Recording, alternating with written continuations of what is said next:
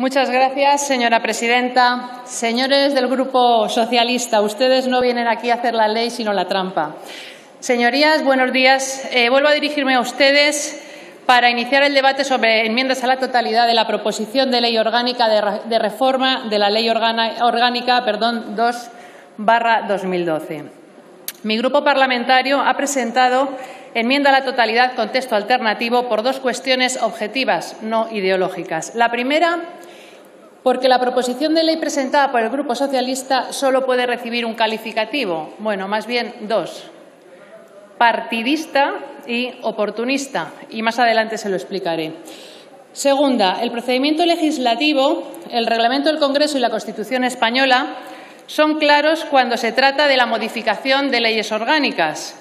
Mayorías absolutas. Lo que en absoluto les gusta a ustedes, que son más de las simples. Rechazable por este segundo motivo su iniciativa. Y es que, señorías, esto no es una iniciativa concebida para mejorar la situación de los trabajadores, de los autónomos, de las pymes, tan duramente golpeadas durante la crisis de la COVID. Ni siquiera es una iniciativa para relanzar un plan estratégico sobre nuestra economía, sino que ustedes presentan una proposición de ley orgánica que persigue únicamente un fin, y es dar rienda suelta a la fantasía del Gobierno al que ustedes apoyan para alcanzar cotas de poderes acerbadas, eludir un control, una oposición parlamentaria y, en definitiva, un contrapeso propio de las democracias del siglo XXI. perdone, señora Cañizares. Ruego un poco de silencio, por favor. Ruego silencio. Muchas gracias. Como les decía, el Poder Legislativo no tiene como labor en una democracia allanar el camino al Gobierno y dejarle actuar sin apenas controles, sea el Gobierno del signo político que sea, sino que debe regular los derechos y las responsabilidades de los ciudadanos, de acuerdo a lo establecido en la Constitución, y además controlar que el Ejecutivo desempeñe su labor de manera ordenada y diligente, lo que se exige a cualquier administrador. Además, deben los ciudadanos entender que los intereses partidistas que les llevan a presentar esta iniciativa ya son caducos. Esta proposición de ley orgánica es producto de una situación ya pasada, la moción de censura al señor Rajoy y las circunstancias que de ella se derivaron, con lo cual ya no les vale la excusa. Pues al abandonar el Gobierno el Partido Popular, la situación política era la siguiente. El Partido Socialista, pese a contar con la mayoría junto a sus socios de legislatura en esta Cámara, se encontró con una realidad que truncaba sus planes, la mayoría absoluta del Partido Popular en el Senado, en la Cámara Alta. Así, el Gobierno socialista encontraba problemas para imponer sus tesis de ampliar el gasto en los presupuestos generales, pues la Ley de Estabilidad Presupuestaria establece que si el Senado rechaza el proyecto, el Gobierno, en el plazo máximo de un mes, debe remitir uno nuevo. ¿Les parece lógico que el PSOE, que defendía que el Senado debía convertirse en una auténtica y verdadera Cámara territorial, ahora pretenda arrinconarlo porque ya no le viene bien? Pues este es el oportunismo del que hablaba y al que me refería. El Grupo Socialista, en su planteamiento, pretende permitir al Gobierno ignorar de forma palmaria el papel atribuido al Senado. Y, señoría, las Cortes Generales están conformadas no solamente por esta Cámara, Podrán, sin duda, ponderarse las atribuciones al Congreso y el Senado, pero mediante la iniciativa que ustedes nos presentan, lo que tratan, de hacer, es imponer su voluntad sin importar cómo, cuándo ni por qué. Y me gustaría que desde el grupo proponente me contestasen a una pregunta. Si el Gobierno que hoy se sienta en el Banco Azul fuese un Gobierno de un signo político distinto, ¿votarían sí a su proposición de ley?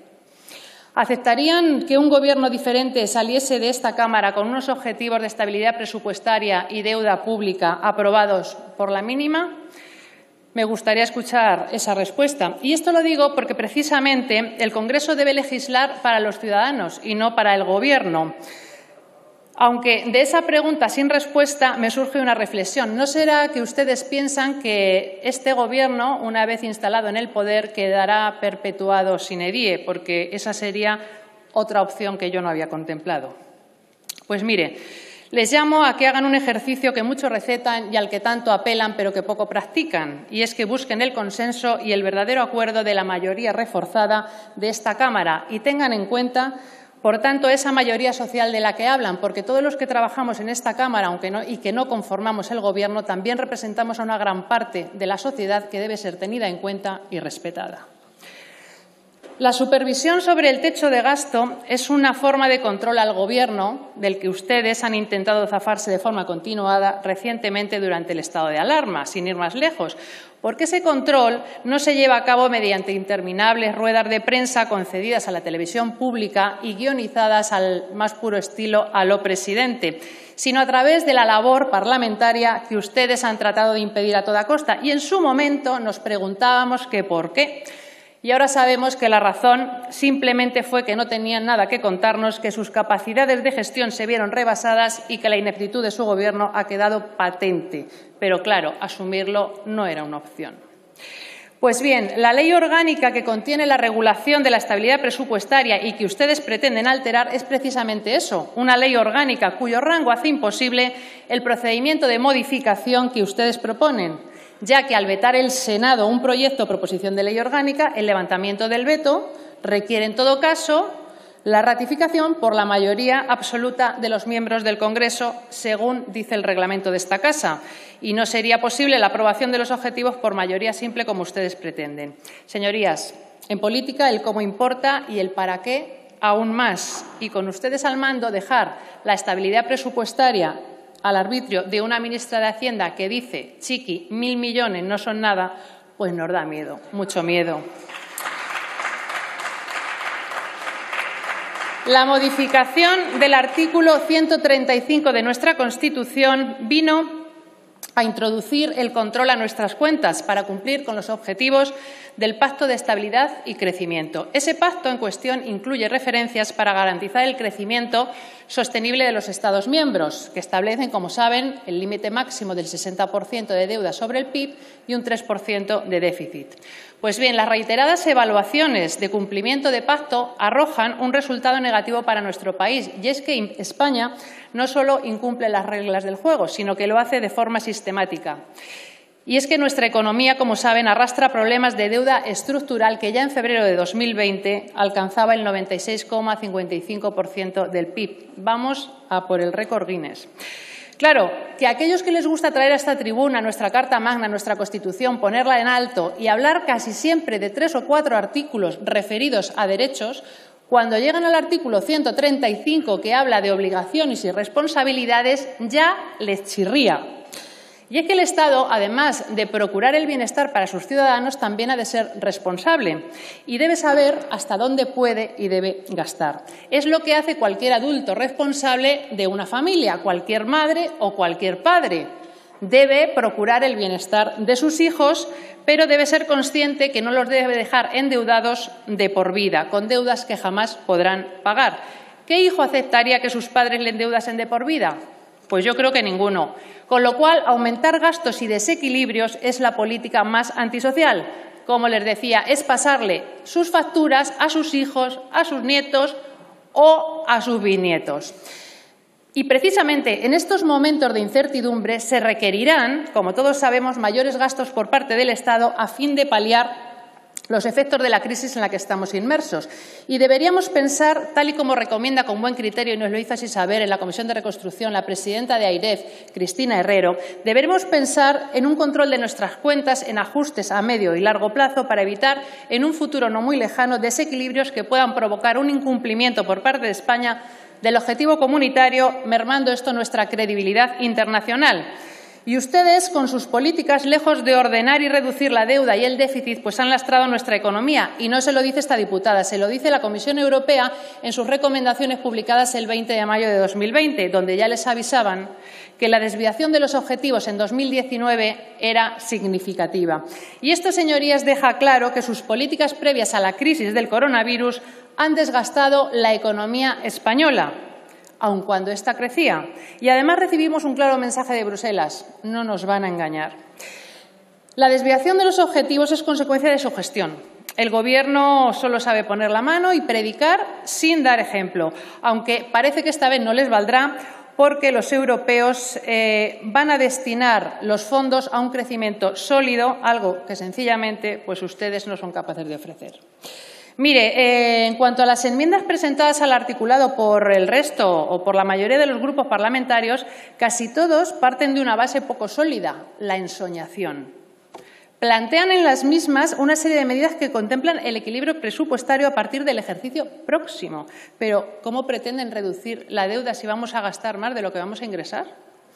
Les recuerdo que no partimos de una situación de deuda cero, sino de más de un 99% del PIB y con proyecciones de hasta el 120%, según ha dicho el gobernador del Banco de España, para el próximo año. Algunas de estas enmiendas hablan también de la inversión del superávit de las administraciones públicas, cuando para el año 2021 la IREF ha dicho que podremos llegar casi a un 14% de déficit.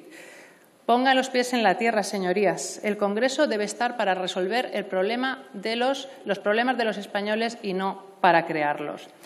La enmienda con texto alternativo que el Grupo Parlamentario Vox presenta cumple con los principios constitucionales, el reglamento del Congreso y, por ende, con el procedimiento legislativo vigente y no atiende a cuestiones ni ideológicas ni partidistas, al margen del signo político del Gobierno de España. Nuestra propuesta considera el papel del Senado y confirma la necesidad de establecer un adecuado control al Gobierno, que no se ve suficientemente articulado a través de una mayoría simple en caso de que el Senado rechace los objetivos. Se trata del fomento de la economía de sentido común. Proponemos que, en caso de aprobación por el Congreso de esos, objetivos y rechazo o veto posterior por el Senado, sea de nuevo el Congreso quien pudiera levantar ese veto con mayoría absoluta y aprobar los objetivos. Y voy terminando, señora presidenta.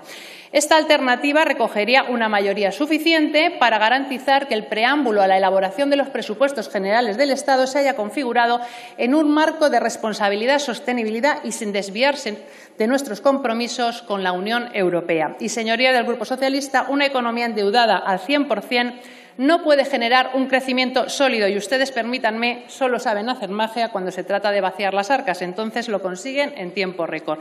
El gasto público debe ser supervisado y racional y las leyes deben responder al interés general de los ciudadanos, a quienes representa el Congreso de los Diputados, no al de sus siglas, no a las de su Gobierno y sí al de los españoles. En resumen, no conviertan la política en el arte de disfrazar de interés general su interés particular. Gracias. Muchas gracias, señora Cañizares.